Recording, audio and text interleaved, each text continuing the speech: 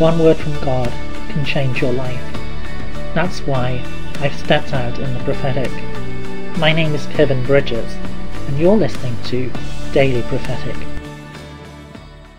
I see a wooden heart lying in the grass, and I sense the Lord saying to you, Take time this day, take time to show my love to those around you.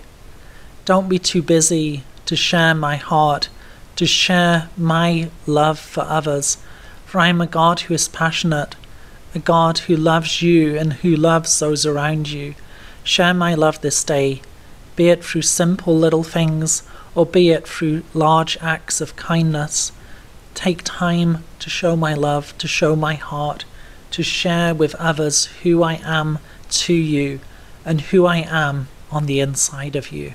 Would you like personal prophetic word, check out the website in the description below. Don't forget to subscribe to get your daily word of encouragement. And whilst you're here, why not have a look at some other of the videos that I've made?